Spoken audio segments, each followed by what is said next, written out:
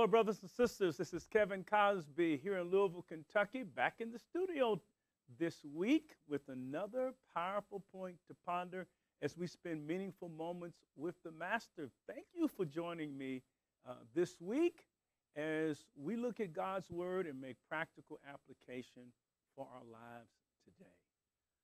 This week, there is a verse in a very familiar story that when we read the story, we often overlook it, pass over it, and sometimes see it as not significant.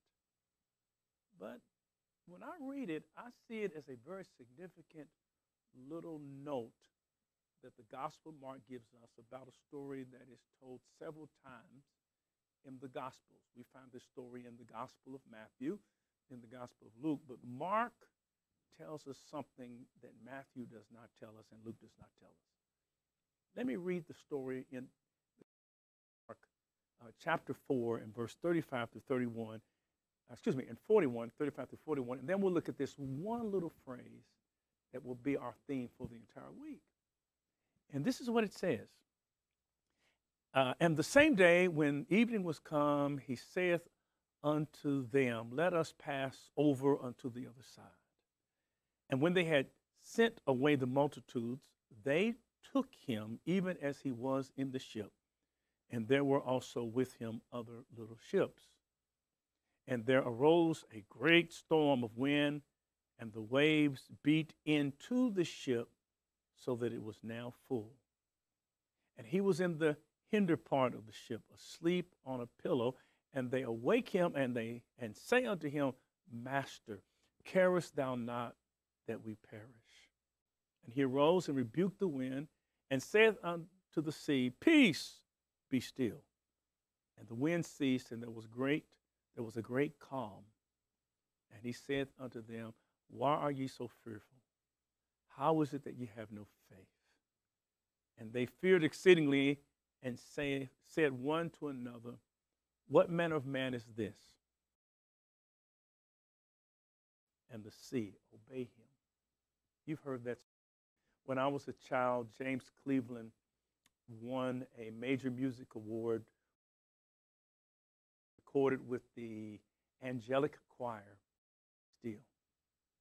But in the song and in the story that is narrated by James Cleveland in that song, he didn't talk about just one little phrase that shall be our focus this week that I think is quite significant. And that one little phrase is found in verse 36 where it says, And when they had sent away the multitudes, they took him even as he was in the ship. And there were also with him other little ships. And that's what we're going to talk about this week. That as Jesus was crossing the tempestuous waters of the Sea of Galilee, and when that storm suddenly erupted, that the disciples were not the only ones caught up in the storm. Accompanying Jesus was a caravan of other little ships that were, that were in the storm with Jesus. And this week, you'll see, we're going to talk about these other little ships that are always in the caravan. That wherever you see Jesus, you're going to see following Jesus these other little ships. Now, isn't it interesting that a storm erupted? It came without notice, it came without warning. And that's what makes a storm a storm. Um, there's no meteorologist that can predict when you will experience some emotional storm, financial storm, some relational storm. Some of us are in a storm right now. There was a soap opera many years ago called The Secret Storm. And some of us are in a storm that nobody knows about because it is a secret storm. And was in this secret storm. And one thing I learned from this storm, and one thing I hope that you learn from Jesus when you are in a storm, importance of self-care. No, Jesus, in the middle of the, the storm, verse 38 tells us that in the middle the storm, and he was in the hinder part of the ship, asleep on a pillow. And sometimes storms can affect patterns. Sometimes we sleep too much in order to take our minds off the storms, or sometimes we're having a form of insomnia, sleep. But what Jesus was doing in the midst of that storm was engaging in self care. And it's okay to take care of yourself, to get some rest, to, eat. You should always forgive other people, but always make sure that while you're forgiving others, forgive yourself. You should love other people, but while loving other people, always remember to love yourself. Be kind to, kind to other people. Make sure that you're kind to yourself. And um, that the stewardess, the flight instructors, we call them today, will give you instructions. And they will say, in case there is a decrease of oxygen in the cabin, um, oxygen mask will be deployed. If you're sitting next to somebody who is dependent upon you, first take oxygen yourself and then give oxygen to the person who's dependent upon you. Why? Not because you're being selfish, simply because if you fall out, you will not be in a position to help anyone else. Self care is essential if you're going to care for other people. Jesus was asleep in the middle of the storm. Now, how do you, can you sleep in the middle of the storm? The disciples were experiencing panic. Jesus was experiencing peace. How do you experience peace? Well, you know something. You know this. You know that Jesus will do, he will calm the storm. And if Jesus doesn't calm the storm, always remember this. Sometimes the storms won't be calm, they, they will last for a while. But if he doesn't calm the storm, remember that God can calm you in the middle of the storm. And Jesus was calm before the storm had dissipated. And before your storm dissipates, you can be calm as well. Many of us have what's called a when and there mentality. When and then. When I get my job, then I'll be happy. When I pay off all these bills, then I'll be at peace. When the storm is over, that's when I'll get back to being my true self. When and then. Well, you don't want to have a when and then mentality. Right now, God can give you peace in the middle of your storm so that you can get to sleep in the middle of the storm.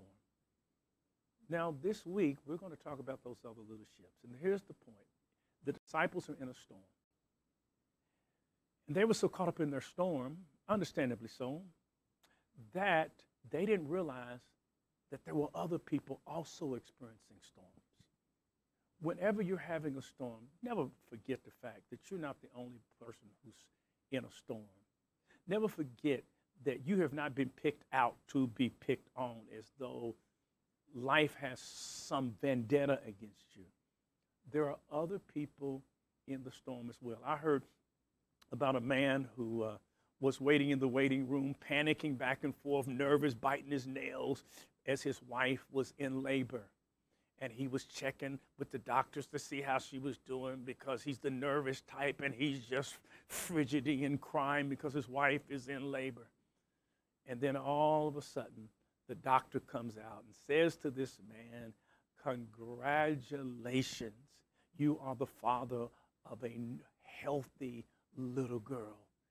And the man raised his hand and said, Thank you, God, because she's a girl. And at least she won't have to experience what I had to endure all during this labor. Well, that man doesn't understand that he may have had to endure something as he waited to hear the news about his wife. But he doesn't know what his wife had to endure as she was giving labor. And so many times we can be so caught up in our own little world that we don't understand that there are other people who are laboring with things much greater than us. And they're getting through it. They're getting through the storm that we think we can't get through. And if they can get through and they have gotten through, then so can we. Here's the difference, however, between the disciples and those other little ships. Here's the difference. The difference is this the disciples had Jesus on the ship. And because you have Jesus on your ship, you should be an example for those other little ships that are in the storm also. Amen. Well, brothers and sisters, look, we're going to be talking about this the entire week, and I'm going to name for you what those other little ships are that are always in the convoy that is following Jesus. But here's today's takeaway, a powerful point for you to ponder, and that is that if God doesn't calm your storm, look for God to calm you in the midst of the storm. That's a powerful point to ponder. Let's pray together. Heavenly Father, thank you for your word and this little note about the other little ships. Lord, some of us are in a storm right now, but you can calm us and give us peace. So deliver us from a when and then mentality. That when the storm is over, that's when I'll be back to myself. Help us to be like Jesus and get some sleep, even in the midst of the storm. Bless your people, and may your word register in our hearts and minds, and may we live it out. In Jesus' name. Thank you for being with me with another powerful point to ponder. Look, everybody needs a church home. Uh, everybody needs a church home. And if you don't have a church home, we'd love to invite you to become a member of St. Stephen Church. Contact us here at St. Stephen Church. Email us newstart at ssclive.org.